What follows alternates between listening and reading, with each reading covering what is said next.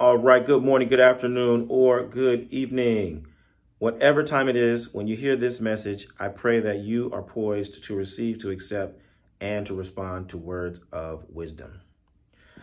So, over the last few days, I've shared a variety of lessons from a literary standpoint, from a psychological standpoint, from an educational standpoint, from a spiritual standpoint and all of the messages and the lessons are geared towards how what I'm doing is beneficial to you. And today I want to share a lesson with you that balances that balances it out a bit and, and lets you understand what's in it for me. Because I am definitely getting something out of it. There's a reason why I am coaching you and advising you the way that I am. And you need to know that and understand that in order for you to uh, appreciate where I'm coming from and say, oh, okay, yeah, yeah, I, I get it. And um, there's a business concept called the lifetime value of your client. Um, when you're setting up your business, at some point you got to figure out, well, how much am I going to charge for what I do?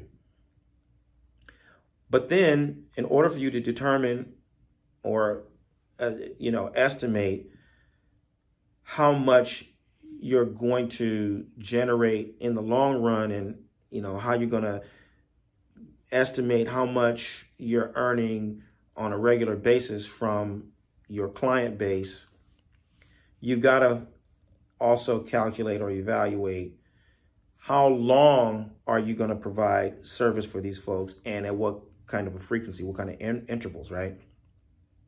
So you could have a business model that's just a one-off, right?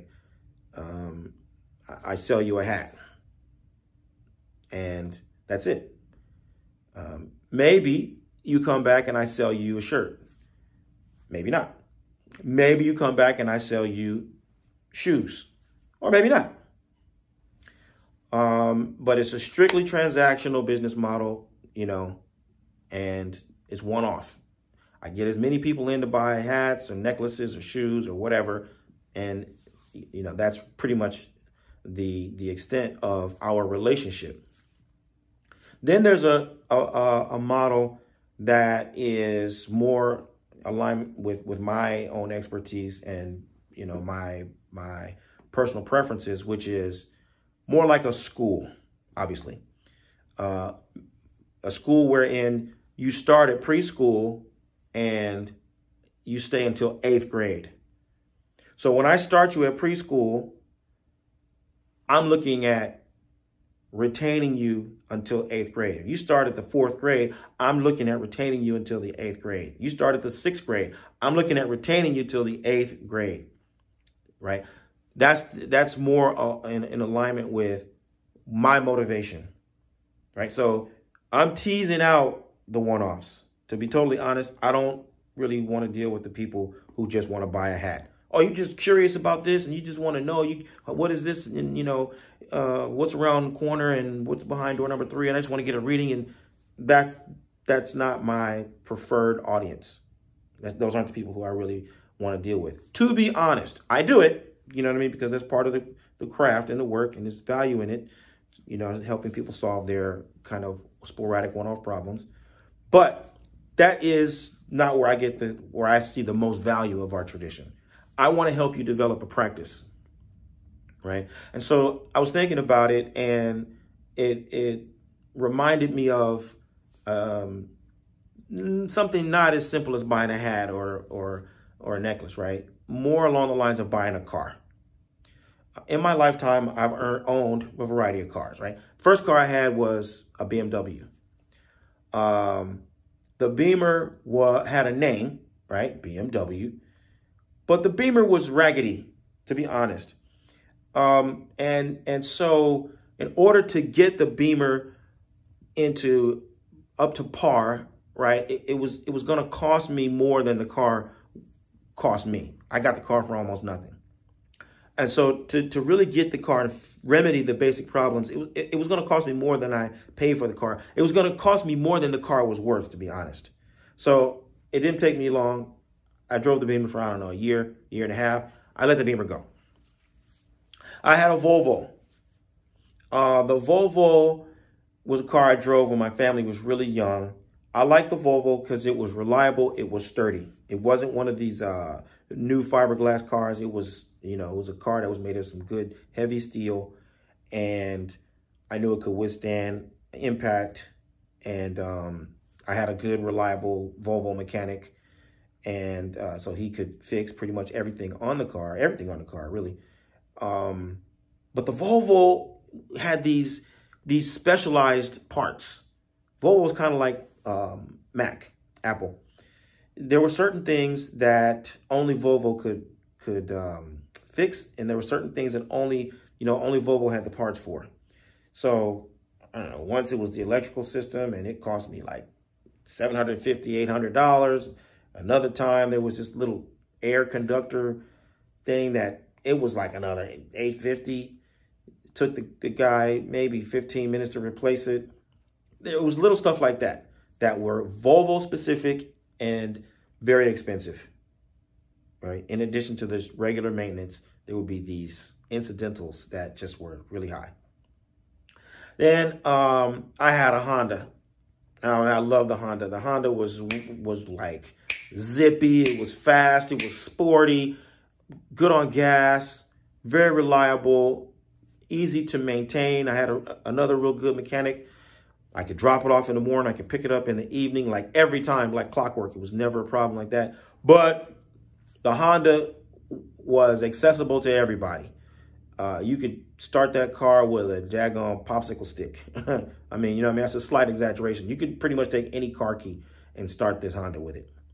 So um, I, I kept the, the, the Honda just because it was so reliable and so fun to drive. But uh, in, the, in the long run, it just was more trouble than it was worth. I had to let the Honda go.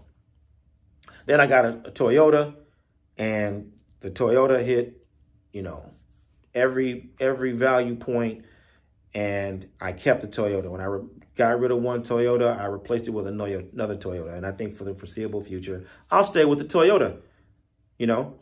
But if I had had a mechanic in my corner, if I had an uncle who happened to be a mechanic, then he would have been able to help me troubleshoot all these cars from the beginning and say, hey, you know what? For what you're doing, for the money you make, for the lifestyle that you have, mm, don't even mess with that BMW. Yeah, man, you know, the Volvo is, the Volvo is going to be cool for this or that, but to be honest, these are the, the, the things that you're going to have to deal with. It's inevitable. You're not going to be able to get around this. Don't mess with that Volvo. And that Honda, listen, you don't even know this about that Honda. They're going to be in and out of that Honda like every time you go into the supermarket. Leave that Honda alone. This is where you need to be right now for where you are in life and what you need this Toyota is going to bring you the most joy. You bring that car to me three times a year. It's going to cost you maybe $500 a hit. And the car is never going to be a problem. You're never going to miss a day of work getting it fixed. It's never going to have these, these crazy absorbent costs. Like I can pretty much guarantee you a, a, a consistent, orderly lifestyle around maintaining this Toyota right? And so that's where I am with you, with, with advising you with Orisha Lifestyle. I'm your uncle who happens to be a mechanic. And I'm, I'm advising you to go with something from the start that will allow you to have total freedom. You, you're going to commit to some very specific obligations and, and habits. And it's almost a guarantee that this thing is going to serve you for life, right? And um, if, you know, I also had a job where uh, I got to, you know, I had to rent cars because I traveled a lot for this job. So I would, you know, if I want to be extravagant, I, I could rent something exotic for a weekend. I could rent something exotic for a week and get a chance to see what it's like to drive around in, in this, the hottest new whatever, right? But I could do that because it was, it was, it was isolated. I wasn't, I wasn't committing to something that was going to become a liability in a very short period of time. And, and that's what I'm trying to advise you uh, to do. Don't make commitments based on your short-term interests, your short-term goals, and that are going to quickly become liabilities. And what's in it for me is that I get to be your maintenance guy. I get to to work on the the the thing that is going to be so reliable and so dependable that we're we're never going to really be dealing with um, chaos and disruptions. Okay, so that's my motivation to help you to make decisions that are going to help create a, a lifelong relationship between us that is going to be steady and consistent. Um, and, you know, quite honestly, what I see, the problem is that a lot of folks are approaching Orisha kind of like, you know, car. You're you're approaching Orisha the way I was approaching cars. But the difference is that I could get rid of the BMW. I could get rid of the Volvo. I could get rid of the Honda. You can't get rid of Shango. You can't just be getting Ogun and then just get rid of it. You got Obatala and then you just let it go. I know people are are are are moving in that direction, right? You thinking, oh well, you know, they told me I could just take it to the river. Oh, they told me I could just take it to this place. But we're talking about your soul. We're talking about things that you are infusing your your spiritual energy into. Don't do that. Don't approach Orisha like a car. Slow down. Take some good advice. Establish something that is going to suit your lifestyle make the decisions in the beginning, understanding that this thing can quickly go from being an asset to a liability. And you need to understand where that line is so that you can make wise long-term decisions. That is what I want to help you to uh, achieve and maintain in your spiritual journey. Okay? And so once you understand that and you appreciate that, as it pertains to your car, as it pertains to your spiritual life. You're going to see how it pertains to your job, how it pertains to where you live, how it pertains to your relationships, how it pertains to your friendships, right? There's a there's an assessment that you need to be making based on what's an, an asset and what's a liability. And, but you need somebody who's also in your corner helping you to assess that and make the decisions so that you don't get yourself into a situation where you know, you bite off more than you can chew. So this is a lesson that is for the leaders. Uh, this is not only for people who um, need to have support and, and, services over a lifetime, but even for the folks who um, really intend on becoming service providers yourselves, right? I want to coach you and show you how to position yourself as someone who's building lifelong relationships with your population, with your community, and not be a salesperson who's just trying to constantly get people to buy stuff, buy stuff, buy stuff that they're not ready to maintain or uphold.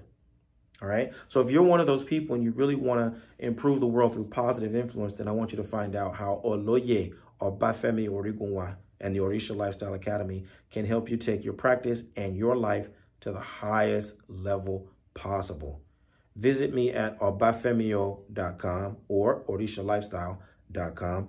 And let's start working together to help you live the medicine that will heal your life and heal the lives of those who you are destined to serve.